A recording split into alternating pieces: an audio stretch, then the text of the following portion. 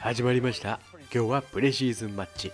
ロサンゼルス・レイカーズ対ゴールデン・ステイト・ウォリアーズの試合をお送りいたします。まずはウォリアーズ。新加入のディアンジェル・ラッセルのパスからマーキーズ・クリスのこの豪快ダンク。レイカーズもすぐさまお返しのマギーのダンクと。会場を沸かせます。そんな中今日の注目選手はやっぱりこの男でした。まずはこのパワードライブを決めるとお次はアメイジンまるで針の穴を通すような鋭いパスを繰り出しさらに AD からマギーへこのアリウープを演出。今日の試合はレブロンのこのパスが終始さえ渡ります。続いてもレブロンの華麗なパスをご覧いただきましょう。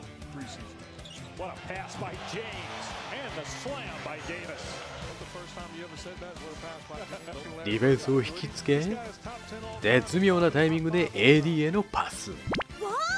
うんお見事まだまだレブロンのスーパーパスは続きます。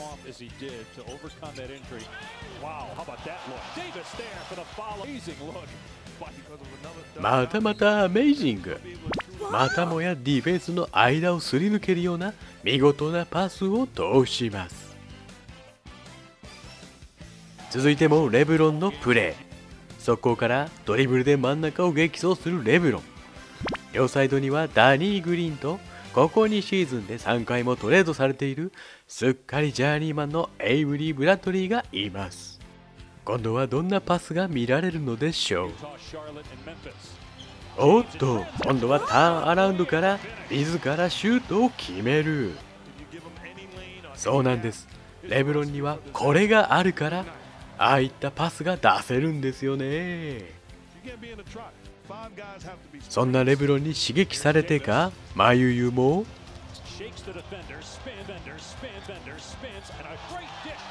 ？2大スターの活躍で序盤からリードを広げるレイカーズ。しかしウォリアーズだって負けてません。ディアンジェロの絶妙パスから豪快ダンクを演出。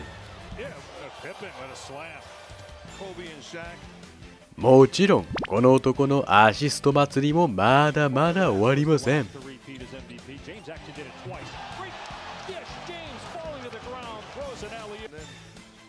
アレックス・カルーソから受けたパスを空中でキャッチしそのままハワードへアリウープパス。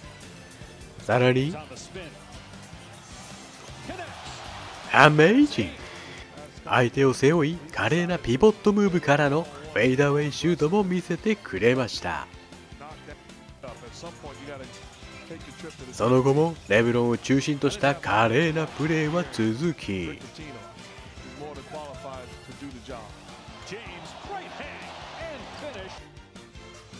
後半もリードをキープします。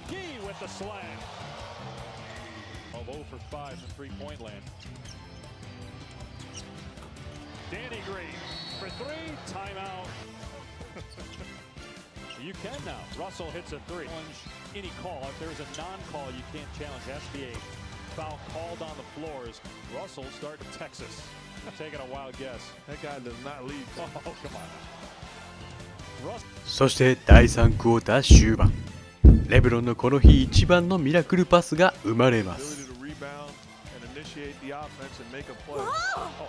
なんと頭の後ろに目がついてるかと思わせる。